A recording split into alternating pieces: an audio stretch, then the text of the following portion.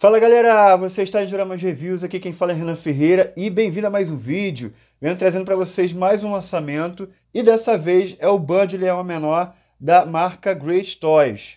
Mano, review esperado aí por muitos. Já fiz o review aqui do Band da MST, né? Mas esse aqui promete, tá? Esse aqui promete tá bem melhor e é isso que a gente vai ver agora. Bom, a caixa aqui bem simples, né? Com o mesmo tipo de arte do Nat de Lobo, né, que é um, um tribal de uma forma de um leão, tá? Aqui umas escritas nada a ver, beleza?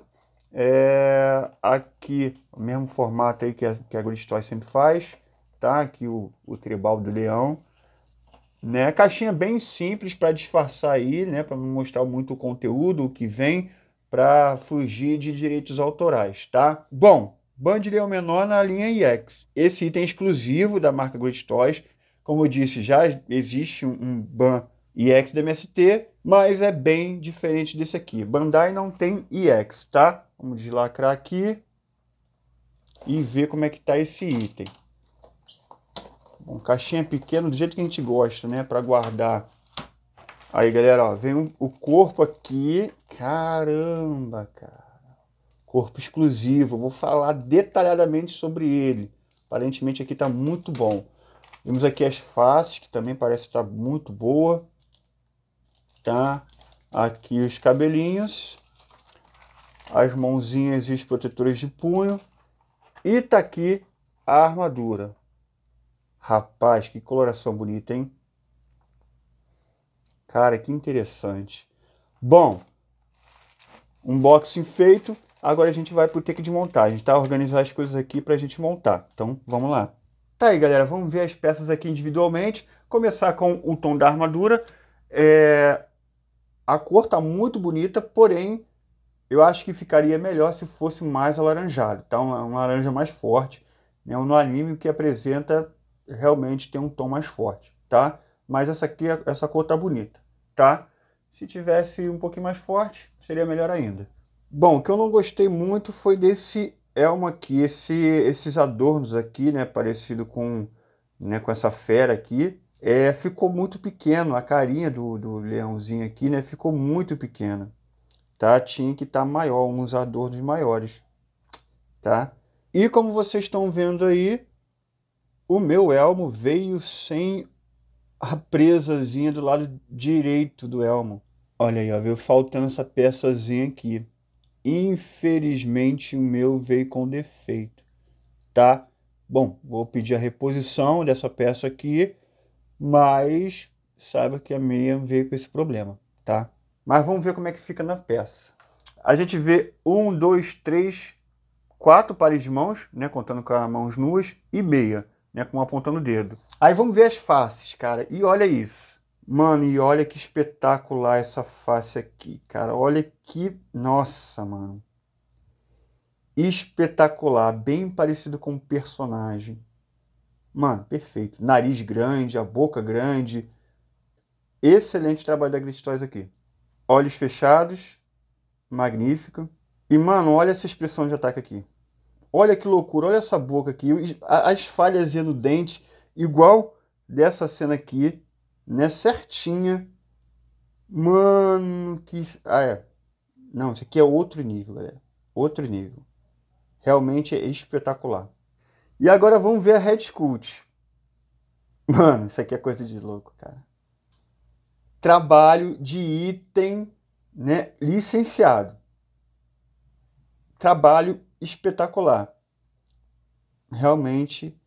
É... E digo mais talvez seja até melhor do que item licenciado, né? Porque, cara, tem tem sombreado no cabelo. Olha isso. Sombreado no cabelo, galera. Vocês não estão entendendo. Isso aqui tá outro nível.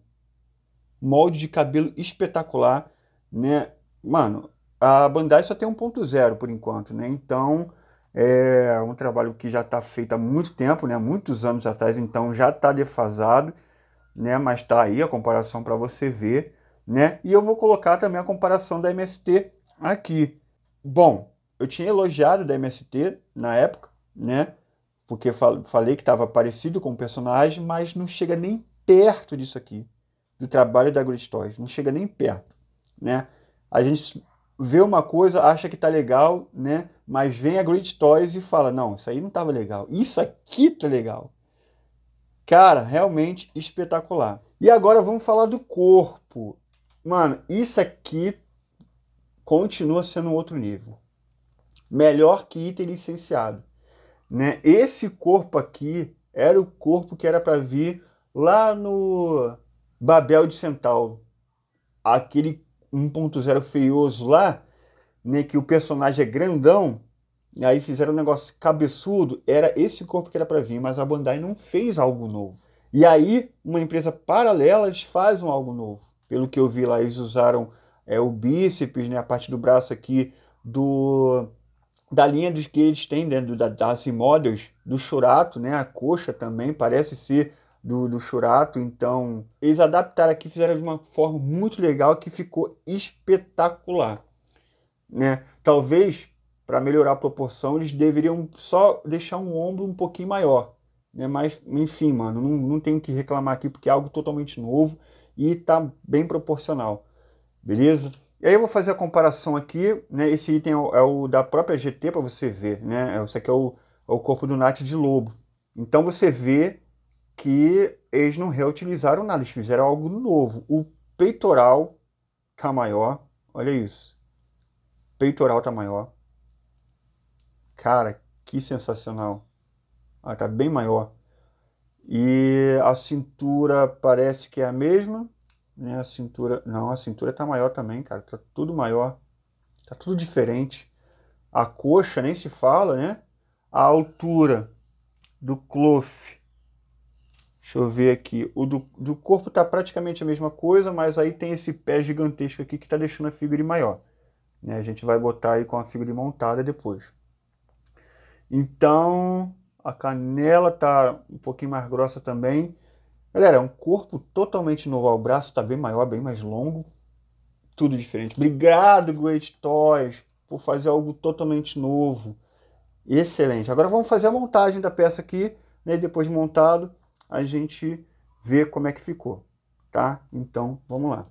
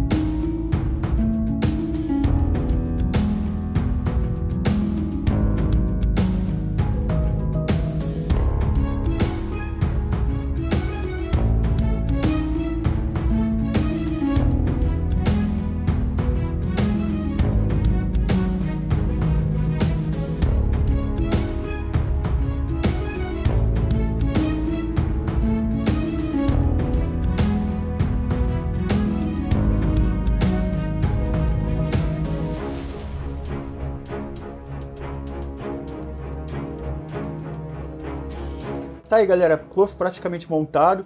Bom, difícil de encaixar a parte aqui do peitoral e o cinturão, tá? Teve até corte aí, eu tive que montar fora das câmeras. Tem que apertar muito forte, encaixar ele, mas foi bem difícil, cara. E o peitoral, ele é muito difícil porque ele tem que alinhar. Ele, parece que isso aqui não é tão alinhado assim, tá? Essa parte aqui com essa parte aqui. Então, para encaixar, você tem que alinhar direitinho. Aí você tem que mexer por aqui, para poder encaixar direitinho, então foi trabalhoso, complicado. A montagem não é tão fácil, mas depois que encaixa, né, de boa, não, não vai cair, né, tá tudo certinho. Tá? Outra coisa na montagem que a Great Toys sempre faz é deixar isso aqui para trás e não poder girar. Esse punho aqui não consegue girar e aí ele fica com, com os adornos lá para trás, tá vendo? Isso aqui é coisa que a Great Toy sempre faz, cara. Olha lá. Não é tão legal assim. Isso aqui tinha que girar e deixar mais para frente, mas não consegue girar. Tá? O máximo que eu consegui deixar foi assim agora. Se eu girar mais, aí vem para baixo e acaba expulsando aqui o punho. Tá? Isso aqui tinha que ficar mais mais para dentro, tá? Para poder ficar assim, né? Tem um detalhezinho aqui na parte lateral do cinturão, ó, tá vendo? Aí, ó, detalhezinho. O único detalhezinho de pintura na parte de plástico. Tá vendo? Mas não aparece muito, né? Vamos colocar aqui a, a head sculpt dele. Vamos colocar primeiro sem o elmo pra gente ver como é que fica. Vamos colocar ele sorrindo aqui dessa vez. Cara, que cabelo maneiro, cara. Sombreado. Pô, sensacional. E olha isso, galera. Que figura excelente, mano. Que figura excelente. Tem essa essa parte da frente aqui que é do mangá, tá? No take de pose eu vou colocar ela para você ver como é que fica. E olha que sensacional. Agora vamos botar o elmo. A parte de trás aqui do cabelo já com elmo. Beleza. E aqui a parte do elmo já está com cabelo também. Então é só encaixar aqui. E lá. Tu é doido, bicho. Cara, que peça sensacional, mano.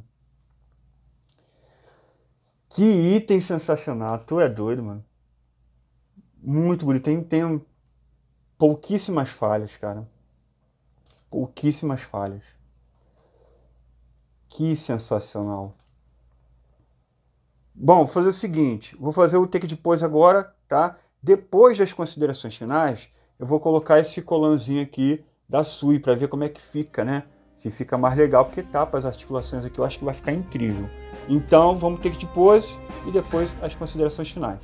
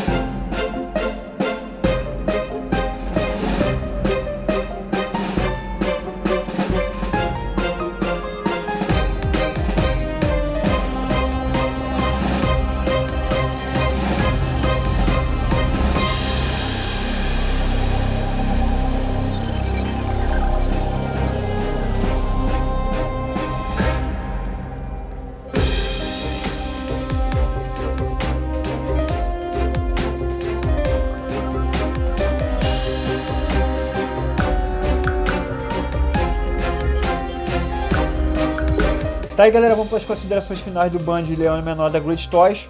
Tá? Antes a gente vai falar aqui, fazer um comparativo, primeiro com o da Bandai. Bom, o da Bandai para mim é mais correta na coloração, tá? E isso é um ponto positivo que a gente tem na Bandai, tá? E o elmo também da Bandai eu acho melhor, né? Porque aquela besta ali, o leão representado, no da Bandai tá maior, coisa que eu critiquei aqui no elmo da Great Toys. Acho que só de melhor para por aí tá? O resto é proporção, né? Além de ser um item, pô, muito mais à frente, chega até a ser injusta a comparação, né? O da Bandai já está defasado, é 1.0, então, cara, esquece, é até injusta a comparação. Mas só para você ter noção aqui de como que tá o item da Bandai referente a esse X que o da Bandai é o que a gente tinha até então, antes até do da MST. E agora a gente tem essa peça maravilhosa da Great Toys que né, vence em tudo, a não ser para mim a cor e o elmo, tá? Ah, além dessa parte aqui da, do peitoral, coisa correta que na Bandai também não tem, né? Então a gente vê algo mais fiel ao anime. Agora vamos com uma comparação é, da MST, bom, que também é uma comparação injusta. E olha que a MST acabou de lançar o produto, né? Mas a gente vê, cara, que não tem como. A proporção aqui é muito melhor em tudo, cara. A coloração é a mesma cor entre os dois, tá? Mesma cor, em mãos é a mesma cor. A gente vê uma diferença gritante no pé, né? Aqui realmente aparece as garras. No da MST não tem garras nenhuma, né? É, só tem uma menção ali as garras, mas não tem nenhuma profundidade, não tem um desenho esculpido bom, tá? A única coisa ali que eu acho que ganha da MST é de fato o elmo. O elmo tá mais proporcional, tá? O corpo nem se fala, né? Esse aqui realmente está parecendo, está parecendo o anime, né? Que é um corpo maior. E cara, não tem como, não tem como. É se alguém tiver uma dúvida aí, eu recomendo demais comprar esse da Great Toys. Eu acho que é unânime isso, tá? Acho que ninguém vai chegar aqui nos comentários e falar, ah, Renan, eu prefiro da MST. Cara, não tem como. Da Great Toys realmente deu aula e mostrou como é que se faz um Clothmif exclusivo, tá? Bom, agora vamos para a comparação de escala. Ele é um Bronze Boy, né? Ele é mais novo, acabou de ganhar armadura, então ele seria mais baixo. Né? Só que o Band ele é o menor, ele é alto, né? Vamos ver o quão alto ele está perante aos outros personagens. Vamos deixar aqui o Seiya, tá do lado dele. Ó, ele é mais alto que o Seiya, tá? Só que pou, pouca coisa, né? Mas ele é mais alto. E vamos ver com o Cavaleiro de Ouro, que é bem mais alto que os Bronze Boys, né? E tá mais baixo que o Ayora, tá? Peraí, deixa eu ajeitar um negocinho aqui, que ele tá com a perna um pouquinho aberta, né? Isso acaba prejudicando na altura. Olha, ficou até bem mais alto que o C agora, ó. Bom, e aqui, olha, tá quase da altura do Aioria, quase. Tá um pouquinho mais baixo, pouca coisa, tá? Pouca coisa. Ó, o C tem 17 centímetros, o Ban tá com quase 18 centímetros, né? Tá com 17 centímetros, ponto 9, e o Aioria ali tem né, aproximadamente 18 centímetros e 1 né? Então é um pouquinho maior, beleza? Bom, peças de metal e de plástico. O plástico é somente o elmo, a parte da frente do peitoral, esse pininho aqui do saiote, né? E a parte ali do protetores de punho. O resto é tudo de metal. Bom, infelizmente essa peça tem alguns probleminhas, tá? Por exemplo, para fazer a pose, né, as articulações até que estão rígidas do, do, do boneco, mas ele não tem, não sei se é porque o corpo é novo, né? Mas ele não gira aqui. Não gira de jeito nenhum, só tem essa articulação aqui da frente, tá? É, e isso é um problema muito grave, muito ruim. É, para quem costuma tirar foto, para quem gosta de fazer pose, para quem faz review, sabe que isso aí é um problema muito grave, né? Infelizmente. Né? Porque só tem como disposar ele de frente, né? Não vai conseguir ele deixar ele de ladinho aqui e girar o corpo, né? Igual a galera gosta de fazer ele meio de ladinho aqui, aí gira o corpo para frente, né, e bota ele olhando para frente, não vai dar. É só aqui exposto de frente. Infelizmente, olha que, a, que o item tem pouca, pouca armadura, né?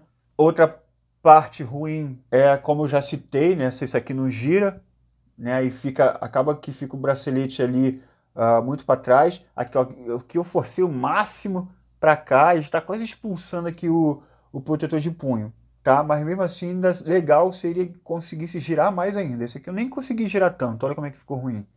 Né? Ficou lá para trás o, o protetor de antebraço. Mas a montagem até que foi ok, sendo que você tem que ter paciência aqui com a parte do peitoral e do cinto. Depois que encaixa, mano, perfeito, tá? A pintura veio ok, né, quase 100%. Tem um detalhezinho aqui bobinho, que não dá nem para ver na parte do, do pino do, do saiote, né? Mas tem. Mas de resto a pintura está excelente, a não ser a cor. A cor eu gostaria que fosse mais alaranjado, tá? Bom, aparência e design. Realmente a peça está incrível. Independente dos problemas que eu for falar aqui, a peça está incrível, né? Tá muito bonito. Acho que design, né, na fidelidade, eu acho que eles poderiam só melhorar o elmo. O resto tá excelente. Independente da nota que eu falar aqui, essa peça é a melhor peça que tem do Bandilhão Menor. não tem como não indicar essa peça. É linda demais. Mas tem alguns problemas sérios, né? Por exemplo, design do elmo não me agradou. A forma ali de não girar o antebraço não me agradou. O tronco não girar é horrível, isso é muito ruim, tá? E na minha peça veio sem um dentinho ali, né? Veio com o elmo danificado, tá? Mas aí é da minha peça. E a coloração que poderia ser melhor. Bom, eu vou dar uma nota 8. A nota até poderia ser maiorzinha ali, mais 8,5, se não fosse o dentezinho do elmo. Beleza? Mas, de resto, a figura é excelente. Eu recomendo demais. Essa daqui eu vou ficar para mim, né? Porque realmente eu gostei muito. Vou tentar só resolver o problema ali do elmo. Mas, mano, isso aqui é meu. Essa peça eu adorei e vai ficar para mim. Não tem como não ficar com ele. Bom, se você quiser essa peça aqui, cara, vou deixar o link na descrição. O item tá baratinho, né? Tá abaixo de 50 dólares, então você consegue pegar de boa, tá? O link aí na descrição. Tem o meu cupom aí de Oramas 2024 que vai deixar o item mais barato ainda na loja que eu estou recomendando aí embaixo. Ah, Renan, mas eu não gosto de comprar no AliExpress. Você pode me chamar aí no Instagram, arroba Reviews, que eu consigo essa peça para você, tá bom? Eu consigo via encomenda, beleza? Pode me chamar aí que eu consigo. E galera, vamos fazer o seguinte, agora vamos fazer o teste com o colan da Sui. Vou colocar nele aqui e volto para vocês verem o resultado, beleza? Então, vamos lá. Galera, e olha isso, como ficou com o colan da Sui. Mano, espetacular, né? Corrigiu aquelas articulações à mostra, deixou o produto mais real, né? Do como se fosse no anime mesmo, né? Roupa de tecido com armadura de metal, deixou simplesmente mais realista, né? Cara, não tem como, galera. Eu sempre vou indicar os colãs da Sui. São os colãs que eu uso na minha coleção, né? Todos os itens, né? Cavaleiro de prata, cavaleiro de bronze, né? Eu coloco os colãs que ficam realmente espetacular. Toda a minha coleção é assim, galera. Se você quiser, só seguir o Instagram Sui Destruction, né? Você pode pedir diretamente lá com ela. Você pode ver lá no Instagram dela lá os trabalhos que ela tem, não só de colã, né, mas como capa e entre outras roupas. Só seguir ela lá e ver o conteúdo que ela tem, né? Indico demais. Beleza? Obrigado, Sui, por mandar essa roupinha aqui, né? Já vai ficar assim na minha coleção. E é isso aí, galera. Espero que vocês tenham gostado. E galera, preste atenção no que eu tô falando agora. Preste atenção. Se você tá desviando a atenção aí, olha isso aqui. Cloth Myth Awards está vindo aí, tá chegando é só acabar de fazer essas últimas peças aqui de 2023, tá? E tá chegando aí, beleza? Daqui para os próximos vídeos, não perca nenhum, porque eu vou começar a soltar as novidades nos próximos vídeos, né? Tanto vídeo review quanto vídeo notícia. Então não perca nenhum vídeo a partir de agora, que eu vou soltar as informações e, mano, preste atenção. Cloth Myth Awards vai ter novidade esse ano, vai estar com patrocínio, exatamente, e esse ano vai ter uma participação maior por os inscritos no Cloth Myth Awards, exatamente. Aguarda aí que vai ter coisa boa, não vai ser só Cloth Myth Awards. 2024 vai ser o ano aqui do canal de Reviews. Ano passado já foi excelente e esse ano vai ser melhor ainda, tá? Eu acho que essa peça aqui, independente da, da, da nota, com certeza é um dos grandes concorrentes aí do Cloverleaf Awards, tá? Pelo menos ali na categoria de Great Toys, na categoria de melhor paralelo, vamos ver. Então fique atento aí nos próximos vídeos. Valeu? Então é isso, galera. Espero que vocês tenham gostado do vídeo. Né? Esse foi mais um review. Espero que tenha tirado todas as dúvidas de vocês. Se não ficou, só comentar aí que eu respondo a tua pergunta. Tá bom?